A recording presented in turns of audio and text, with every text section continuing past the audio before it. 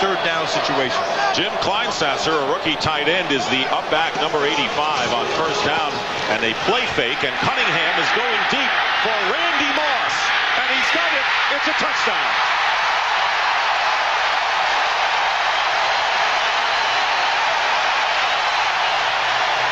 That didn't take long, did it? All it took was one fallen defensive back in Ronde Barber and just send him up the sideline, quick. There's nothing worse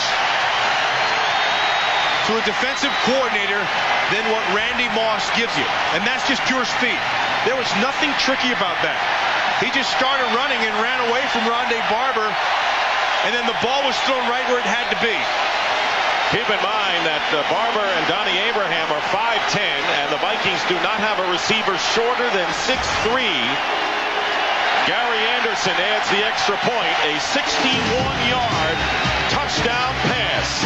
Randall Cunningham to Randy Moss, and that'll bring him back in a hurry.